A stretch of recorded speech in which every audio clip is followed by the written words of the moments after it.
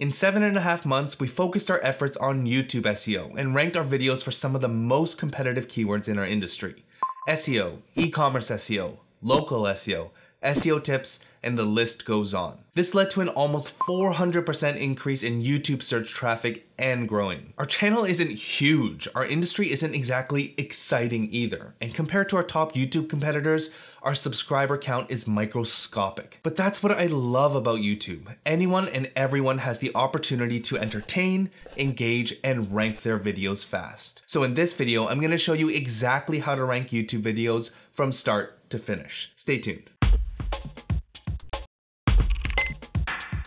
What's up creators, Sam O here with Ahrefs, the SEO tool that helps you grow your search traffic, research your competitors, and dominate your niche. Now there's a lot to video SEO, so rather than trying to dip into every single traffic source in YouTube Analytics, I'll be focusing on ranking in YouTube search and sprinkle a few tips to rank your videos on Google too. Let's get started. First, what is YouTube SEO? It's the process of optimizing your videos, playlists, and channel to rank high in YouTube's organic search results for a given search query. YouTube explains their discovery and search ranking algorithm in two sentences. Videos are ranked based on a variety of factors, including how well the title, description, and video content match the viewer's query. So there are three important points here. First, keywords matter in your title and description. Second, you need to match the search intent for a viewer's query. And third, you need to drive engagement for a query in order to rank on YouTube. But of all these things, the key point to effective video SEO is creating high engagement videos. So if you can't engage your audience, your chances of ranking your YouTube videos for a meaningful keyword will be slim to none. So the first step is to do YouTube keyword research. Unlike traditional Google search engine optimization, YouTube doesn't have an official keyword research tool. And a lot of these third party tools are just pumping out arbitrary numbers from Google Keyword Planner. But there are ways you can get estimated search volumes. The first is to use YouTube Suggest paired with Google Trends. Just type a keyword into the search bar, and you'll see a list of relevant queries that contain your keyword. You can also add a star before or after your target keyword, which will act as a wildcard. Now, since we don't have an official tool to see search volumes, we can throw a few of YouTube's suggestions into Google Trends. But remember, Google Trends uses relative popularity to compare keywords, so take these estimates with a grain of salt. The second way to get keyword volumes is to use Ahrefs Keywords Explorer. Recently, we released our latest version of Keywords Explorer, which includes search volumes and metrics for search engines like Google, YouTube, Bing, Amazon, Baidu, and more. Just select YouTube as the search engine and enter a keyword or list of keywords. Right away, you'll see country specific search volumes, clicks data, global search volumes, and have access to five keyword idea reports. You can also enter a list of up to 10,000 keywords you want to analyze. The best way to get a list of keywords is to use TubeBuddy or vidIQ's Chrome extension. Just run a search in YouTube and look to the right sidebar. You'll see vidIQ's related queries or TubeBuddy's most used tag section.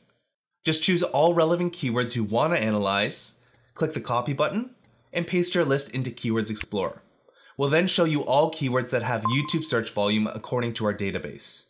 Now, search volumes are great and all, but the power of Keywords Explorer is in generating new keyword ideas. Let's say you want to start a channel on makeup tutorials. Just type makeup into Keywords Explorer, and I'll also include a couple common variations like make dash up and make space up. Then go to the phrase match report, which lists all keywords in our database that contain your seed keywords. And you'll see over 202,000 keyword ideas. Let's narrow in on some more focused topics. So I'll click on the include dropdown and type in a list of related keywords like eye, face, Halloween, wedding, and bridal. Finally, choose the Any Word tab, which will show us all keywords that contain any of these keywords. And we have over 17,000 relevant topics to create videos on. Bottom line, there's no shortage of great keyword ideas. We have an in-depth video on YouTube keyword research, so I'll leave a link to it in the description. Now YouTube search is great and all, but why not maximize your views by ranking your videos on Google too? Don't think it's that important? Think again. Google search is one of our top external traffic sources and sent us over 7,400 views in the past 28 days. Also, a study done by GetStat shows that video SERP features increased by around 75% in 2017 for their sample list of keywords. Now in 2019, it's tough to browse Google for more than 10 minutes without seeing a video result. There are a few ways to find videos that get search traffic from Google. The first is to search for your target keyword. If you see a video carousel or another video SERP feature, then you have an opportunity to rank in that position too. Pay attention to video length and titles to get an idea of what Google wants to show. The second way is to use Content Explorer, which lets you search for any word or phrase and get all relevant pages with their SEO and social metrics. To find YouTube videos that are ranking in Google, I'll search for site colon youtube.com in URL colon watch title colon unboxing, assuming that's the topic I wanted to search for.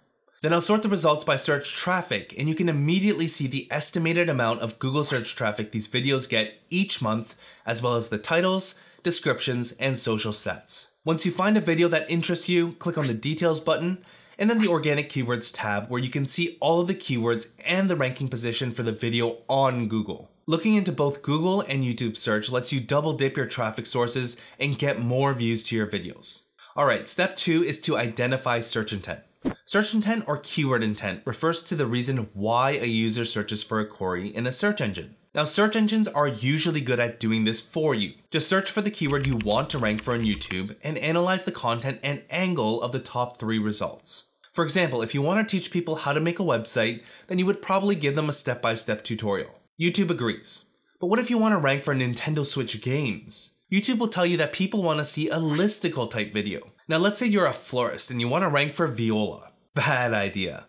All of the results show that someone searching for this term wants to know about the instrument, not the plant or the actress. Let's move on to step three, which is the most important, and that's to satisfy search intent with a high retention video. YouTube says that their goals are to help viewers find the videos they want to watch and maximize long term viewer engagement and satisfaction. And if you're matching the reason for a user's query, then your chance of having higher watch times for the video increases. Here are the exact steps we take to create high retention videos. First and foremost, Plan your videos before you create them. If you're creating how-to videos, the last thing you want to do is stumble over your words or show sloppy demonstrations. Proper planning helps keep your ideas on point and gives you the advantage of intentionally including keywords within your video, which people believe YouTube uses in their ranking algorithm. Second, you need to start with a strong hook. The first 10 to 15 seconds are critical for your video's success. Hook your readers and you'll have audience retention graphs that look like this. Forego the hook and lose the majority of your viewers before you even get a chance to deliver value. Every niche is different, and unfortunately, there isn't one formula that works for everyone. Being in the how to and informational space for a B2B audience, I like to start off with stats or proof so that it's worth your time to keep watching. Like in this video on YouTube SEO, I started off by showing you how we rank in the top 3 for a lot of competitive keywords. I also showed you that our search traffic grew by almost 400%. And most importantly, I tell you that I'm going to show you the exact steps we used so you can try and replicate our results. Drop offs in the first 15 seconds is inevitable, but you can minimize the damage by connecting with your audience's reason for watching and showing that you have a solution to that problem. Third, you need to edit your video strategically. For every single video we create, our focus isn't to impress you with cool tricks. We care about engagement. So rather than getting into a full out editing tutorial, I'll leave you with a few power tips. First, use jump cuts. A jump cut is a transition between two shots from the same position. It creates the effect of the scene jumping, hence the name jump cut. These add dynamics to a video and help polish mistakes. Second, draw your audience's attention to what you want them to see. Pay attention for a second. If you've never used our Site Explorer tool before and I say something like, click on the link domains report. Did you see it? Probably not. But I could easily draw your eyes to the link domains report by doing this, this, this, or even this. The effects don't need to be fancy, but they should help your audience follow along to avoid drop offs due to confusion. The last tip is to entertain with stories or narratives. YouTube is an entertainment platform, but entertaining isn't easy. So while our primary focus is to teach SEO and marketing, we do our best to make it somewhat entertaining without trying too hard. If you've watched up to here, then you've probably seen some examples, so I won't go deeper into that. We have a full video on the workflow we use to edit our videos for YouTube, so I highly recommend watching that, which I'll link up. Alright, step 3 is to do on-page video optimization. On-page optimizations for YouTube boils down to four things. We have the title, description, tags, and thumbnail. Each of these help provide context to your video and or will influence your bottom line, click-through rates. After all, no clicks equals no views. Here are a few best practices to craft searchable and clickable videos according to YouTube. Tip 1 is to use your keyword in the title. YouTube suggests using the most relevant search terms in your titles and descriptions as long as they're accurate and not excessive. A study from Briggsby also shows that more than 90% of top ranking videos included at least part of a target keyword in their title. While it seems important to include at least partial matches of your target keyword in your title, you don't want to sacrifice the click worthiness of it. Tip 2 is to keep your titles under 60 characters. YouTube recommends keeping your titles concise with the most important information up front. From an SEO perspective, that will often mean using your target keyword near the beginning of your title. For example, our target keyword for this video is YouTube SEO, and you'll see that we added the phrase right at the beginning. Keeping your title short will also prevent losing clicks from truncation in search, suggested, and browse features. Tip 3 is to write catchy titles that evoke curiosity or highlight a benefit. If you were to create a tutorial on tying a tie, a keyword rich title might be How to Tie a Tie. But that's uninteresting at best. There are numerous angles you could take, like How to Tie a Tie with a 007 technique, How to Tie a Tie in 11 seconds flat. My three year old teaches you how to tie a tie. The point is that boring titles are less likely to stand out in a competitive landscape. Tip 4 is to create a thumbnail that complements your title. In my opinion, this is the hardest part to execute consistently. Here's the thumbnail for our SEO mistakes video. The thumbnail text describes the video since 91% is the majority. And if you look closely, there's a picture of Google's page numbers with the third part circled stating, you are here. You can also draw inspiration from things around you and use your image to speak undeniable truths like our video, How Long Does It Take to Rank on Google? And if you're stuck, try and get ideas from Google Images or stock photos. For example, I searched for the word system in Adobe Stock and was inspired by this image. So I used the idea to create our thumbnail for our link building system video, but cooler. The next video optimization tip is to write searchable descriptions. YouTube says using the right keywords can boost views and watch time because they help your videos show up in search results. But what are the right keywords? For starters, we include our target keyword in both the title and description, but we also include related keywords by analyzing the descriptions of the top ranking videos. Just type in the keyword you want to rank for, then look through the description for keywords that have relevance to your topic. For example, this video uses language like free traffic and talks about traffic in the context of a blog. Another phrase used is increase website traffic. These might be keywords that I want to include within my description or other closely related keywords where my video matches the content. Next up are tags, and tags are another way to give context to your video which can help you rank in YouTube search and suggested. YouTube simplifies this by recommending to add keywords and phrases that are most descriptive of your video. You can also use tools like vidIQ or TubeBuddy to see the tags for competing videos in the sidebar. Look for common tags within competing videos and add them to your video when it makes sense to do so. And as an extra measure, I'll normally copy all of the tags from the top ranking videos and paste them into Ahrefs Keywords Explorer to see the search volumes on these tags. Step 4 are in-video optimizations. Creating the video is 80% of the battle. There are additional optimizations you can do to increase retention rate and create a better user experience for your viewers. The first thing is to add subtitles or closed captions. Many creators, including myself, believe that YouTube reads closed captions to better understand the context of videos. And chances are your viewers come from all over the world with a different native tongue. So it's worth using a transcription service, or if your videos are scripted, just go to the CC tab of your video, select your language, and create your closed captions file. To give you an idea, around 17% of our viewers use our English subtitles when watching our videos. The second thing to do is to add cards to your video. These are an interactive feature that encourages viewers to take one of these five actions. Just select the timecode where you want the card to trigger, select the type of card you want to use, choose an appropriate option, and you're all set. Now when a viewer hits that timecode, the title of the video will slide in as a suggestion. Finally, use end screens. End screens are similar to cards. The purpose is to keep viewers on the YouTube platform. For our channel, we have a subscribe button as well as a suggested video the viewer should watch next. This can help you get more subscribers, keep viewers consuming your content, and increase one of the metrics YouTube uses in their ranking algorithm, session time. I'll expand on this in a bit. For now, let's move on to step 5, which is to publish and promote your video.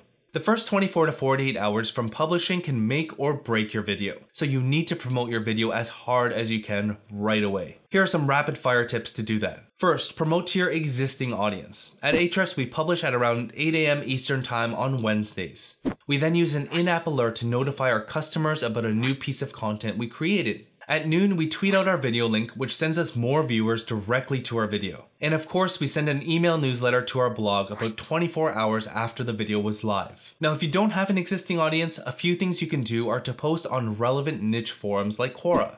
Just search for the topic of your video, provide a helpful answer, and include your video in the mix. You can also post on other platforms like Reddit, Facebook, or wherever. The point is that you need to get involved where your audience hangs out. Last but not least is to use YouTube ads. Right now, from our experience, YouTube ads are super cheap. You can target by interest, keyword, or custom audiences. If you have a great video, set up some search ads based on your target keyword with the intention to earn their subscription. As your subscriber base grows, they'll begin to get notified with your future videos and help accelerate your growth without breaking the bank. The last and final step is to optimize your videos for session watch time. Session watch time is the total time a viewer watches videos on YouTube without leaving the platform. YouTube said in its creator blog, We've started adjusting the ranking of videos in YouTube search to reward engaging videos that keep viewers watching. As with previous optimizations to our discovery features, this should benefit your channel if your videos drive more viewing time across YouTube.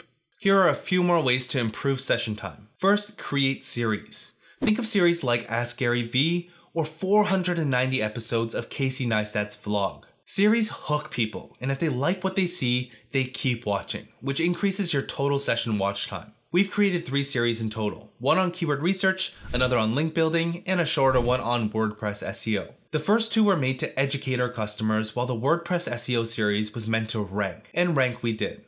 To encourage viewers to watch the next video in the series, add it as an end screen or add a card to the next video near the end. This will make it easy for viewers to find the next video in your series. Now the next part is where the magic happens, and that's to turn your playlist into series playlists. A playlist is a list of videos that plays in the order they're set, whereas a series playlist is everything I just said, but it's also a creator's way to tell YouTube that your group of videos is an official list of videos. Think of how Netflix does it with seasons and episodes of your favorite show.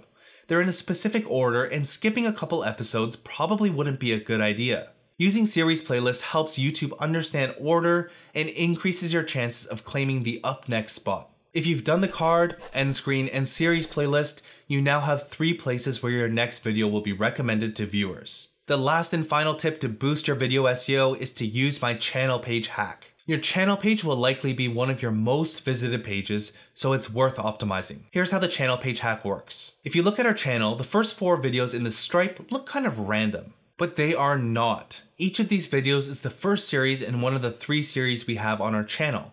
And the only reason the fourth video is in the same series as this video is because we don't have a fourth series. Now since all of these videos are separate series playlists, look what happens when I click on them. The up next video is always the next video in the series. So no matter which video you click, it heightens our chances of getting viewers to keep watching videos on our channel. While YouTube doesn't have a session watch time metric in their analytics, I'm a strong believer that my channel playlist hack contributed to our massive increase in overall watch time since the day I added it. YouTube SEO from a technical perspective is easy. Optimize your titles, descriptions, and tags. Then add relevant cards, end screens, or description links, and you're good to go. But the most challenging part of video SEO is engaging your audience. So take these processes and tips and focus your attention on these three things entertain, engage, and rank. Now, if you enjoyed this video, make sure to like, share, and subscribe. And if you have any questions about our video SEO process, leave a comment below and I'd be happy to help. So keep grinding away create your video strategically, and I'll see you in the next tutorial.